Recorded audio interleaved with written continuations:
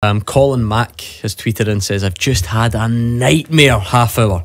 I'm lying in the bath listening to Clyde Super scoreboard, He's dropped his phone. and I've realised that somewhere in deepest, darkest Motherwell, the Dazzler is sharing my special secret naked moment. Oh dear.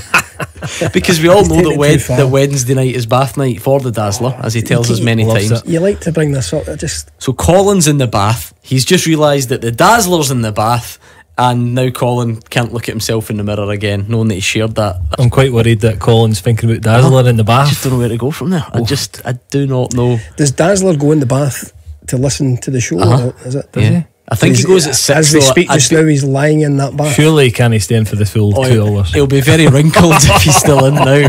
Wow. There's a sentence you never wanted to say.